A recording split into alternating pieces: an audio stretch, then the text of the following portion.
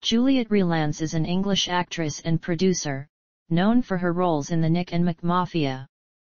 Early life Rylance was born in Ashford, Kent to Anne and David Waters, both teachers of English. One of his grandmothers was Irish. Both his grandfathers were British POWs of the Japanese. His maternal grandfather, Osmond Skinner, spent decades as a banker with the Hong Kong Shanghai Bank. After being shot in the stomach during the Battle of Hong Kong, Skinner was recuperating when he witnessed the St. Stephen's College massacre. He then spent four years in a POW camp. He was able to survive thanks to HSBC contacts who brought him food. Rylance's parents moved to the U.S. in 1962, first to Connecticut, and then to Wisconsin in 1969, where his father and mother taught English at the University School of Milwaukee, which Rylance attended. He returned to England in 1978. Rylance has a sister named Susanna, an opera singer and author, and a deceased brother, Jonathan, who was a sommelier at Chez Panisse. Career 1980s Rylance took the stage name of Mark Relance because his given name, Mark Waters, was already taken by someone else registered with Equity. He trained at the Royal Academy of Dramatic Art in London from 1978 to 1980 under Hugh Cruttwell, and with Barbara and Peter Bridgmont at the Chrysalis Theatre School in Balham, London. In 1980, he gained his first professional work at the Glasgow Citizens Theatre. In 1982 and 1983, he performed with the Royal Shakespeare Company in Stratford-upon-Avon and London. In 1988, Rylance played Hamlet with the RSC in Ron Daniels' production that toured Ireland and Britain for a year. The play then ran in Stratford-upon-Avon. Hamlet toured the US for two years. In 1990, Rylance and Claire Van Kampen founded Phoebus Cart, their own theatre company. The following year, the company staged The Tempest on the Road. 1990s In 1995, Rylance became the first artistic director of Shakespeare's Globe Theatre, a post he held until 2005. Rylance directed and acted in every season, in works by Shakespeare and others, including an all-male production of Twelfth Night, in which he played Olivia, and Richard III in the title role. Under his directorate, new plays were also performed at the Globe, the first being Augustine's Oak by Peter Oswald, the writer-in-residence, which was performed in 1999. A second play by Oswald followed in 2002, The Golden Ass or The Curious Man. Rylance played the lead in Gillies MacKinnon's film The Grass Arena, and won the Radio Times Award for Best Newcomer.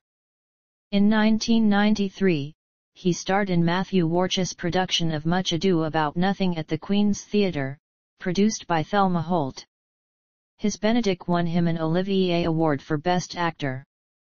2000s For his role as Jay in Intimacy, directed by Patrice Giraud, he received real, rather than simulated, fellatio. He took the leading role as British weapons expert David Kelly in Peter Kosminsky's The Government Inspector, an award-winning Channel 4 production for which he won the British Academy Television Award for Best Actor in 2005.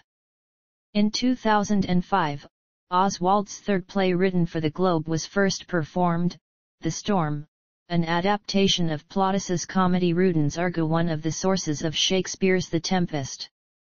Other historical first nights were organized by Rylance while director of the Globe including Twelfth Night performed in 2002 at Middle Temple, to commemorate its first performance there exactly 400 years before, and Measure for Measure at Hampton Court in summer 2004.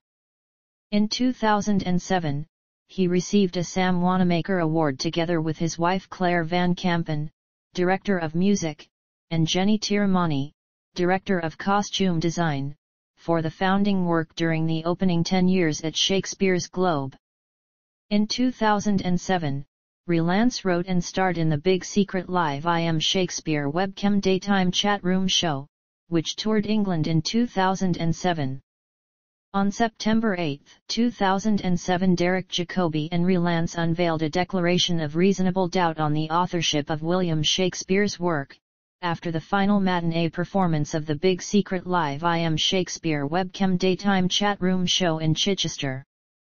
The actual author of Shakespeare's plays is variously proposed to be Christopher Marlowe, Francis Bacon, Edward de Vere, 17th Earl of Oxford, or Mary Sidney.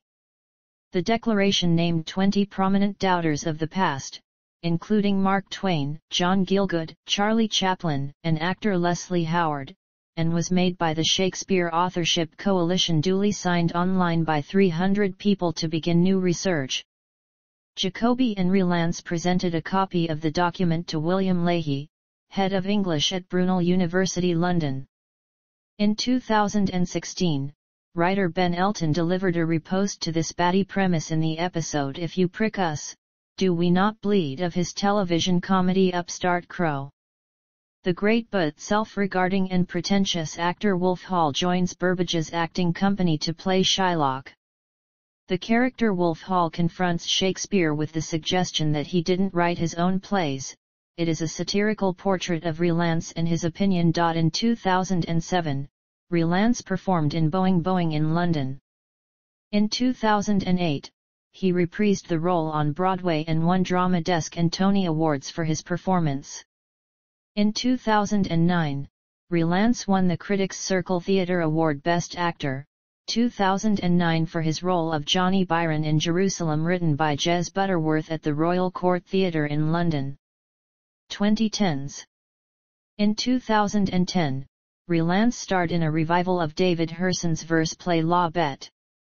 The play ran first at London's Comedy Theatre before transferring to the Music Box Theatre on Broadway, on September 23, 2010. Also in 2010, he won another Olivier Award for Best Actor in the role of Johnny Byron in Jerusalem at the Apollo Theatre in London. In 2011, he won his second Tony Award for playing the same role in the Broadway production. In 2013, Shakespeare's Globe brought two all-male productions to Broadway, starring Rylance as Olivia in Twelfth Night and in the title role in Richard III, for a limited run in repertory. He won his third Tony Award for his performance as Olivia and was nominated for his performance as Richard III. He played Thomas Cromwell in Wolf Hall, BBC Two's adaptation of Hilary Mantel's historical novels Wolf Hall and Bring Up the Bodies. For his performance, he was nominated for the Primetime Emmy Award for Outstanding Lead Actor in a Miniseries or a Movie. Rylance was featured as the castaway on the BBC radio programme Desert Island Discs on February 15, 2015. Rylance co starred in the biographical drama Bridge of Spies, released in October 2015, directed by Steven Spielberg and starring Tom Hanks, Amy Ryan, and Alan Alda. The film is about the 1960 U-2 incident and the arrest and conviction of Soviet spy Rudolf Abel and the exchange of Abel for U-2 pilot Gary Powers.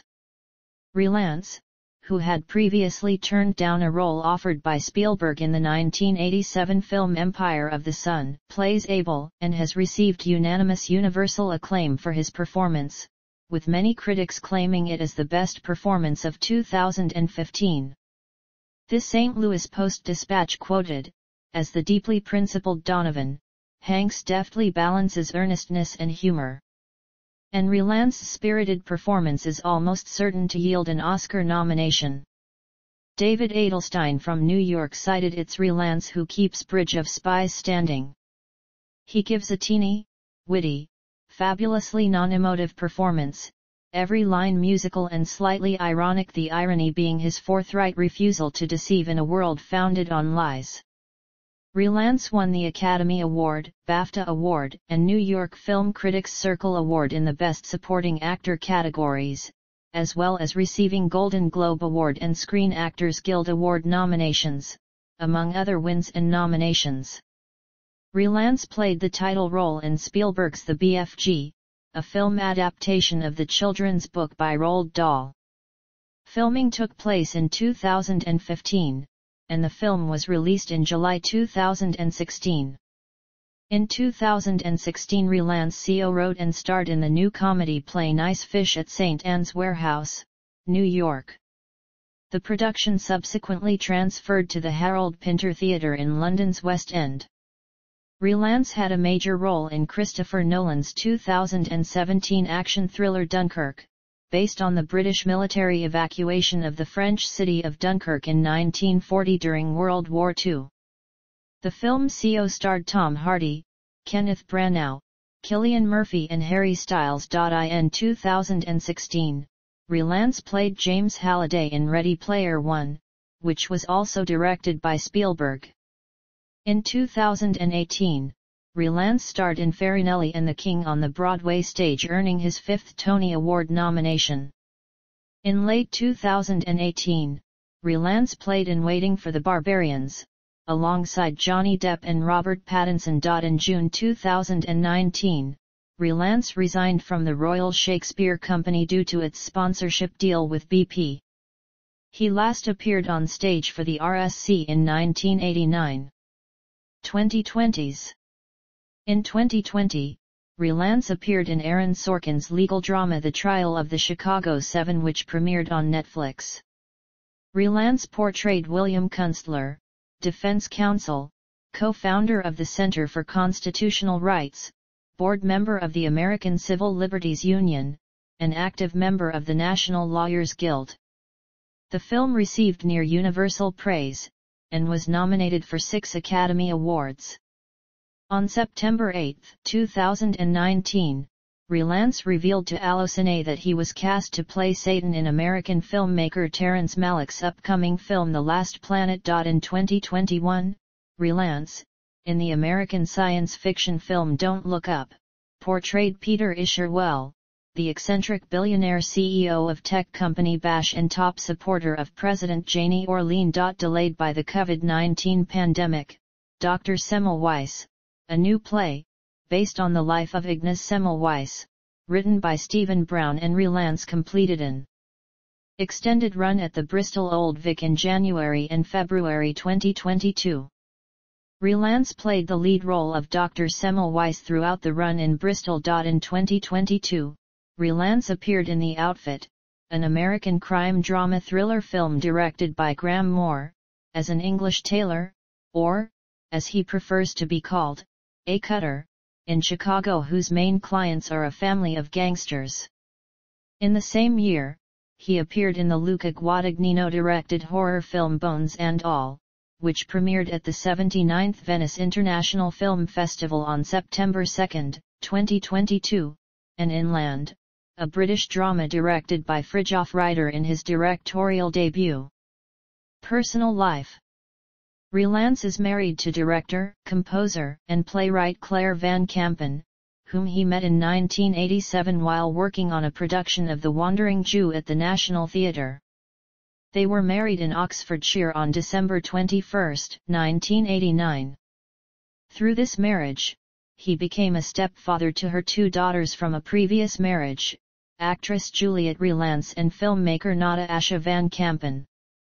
Nada Asha died in July 2012 at the age of 28, following which Rylance withdrew from his planned participation in the 2012 Summer Olympics opening ceremony in London and was replaced by Kenneth Branagh. Rylance's brother, Jonathan Waters, died in May 2022, following a collision with a vehicle while cycling.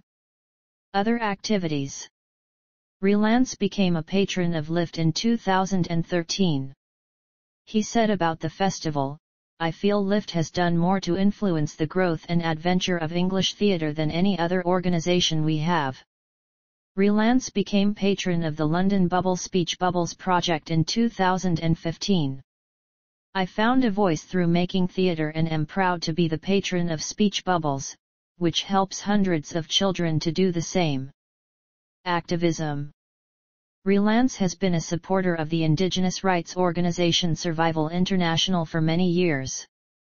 He is the creator and director of We Are One, a fundraiser that took place at the Apollo Theatre in April 2010.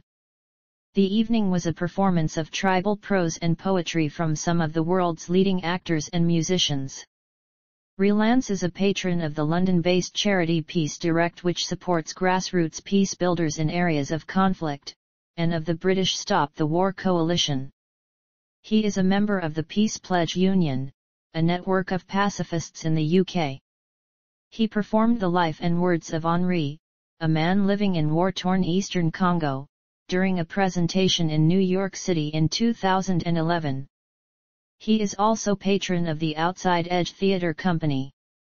It works from the perspective of creating theatre and drama with people affected by substance abuse. It provides theatre interventions in drug and alcohol treatment and general community facilities throughout Britain, as well as producing professional public theatre productions that take place in theatres, studio theatres, and art centres.